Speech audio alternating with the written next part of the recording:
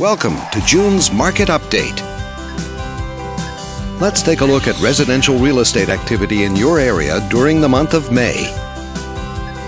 The number of active listings was down 6% from one year earlier and up 2% from the previous month.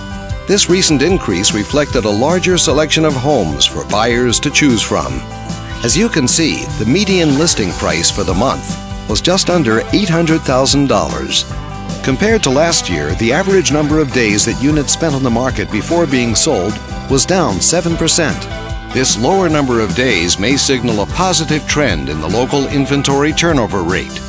The median sale price was just under $590,000. The number of units sold increased 19% year over year and decreased 14% month over month. Higher year over year figures indicate that more buyers have been finding what they're looking for. Thanks for watching. We hope you use this information to make smart, informed decisions in your upcoming real estate transactions.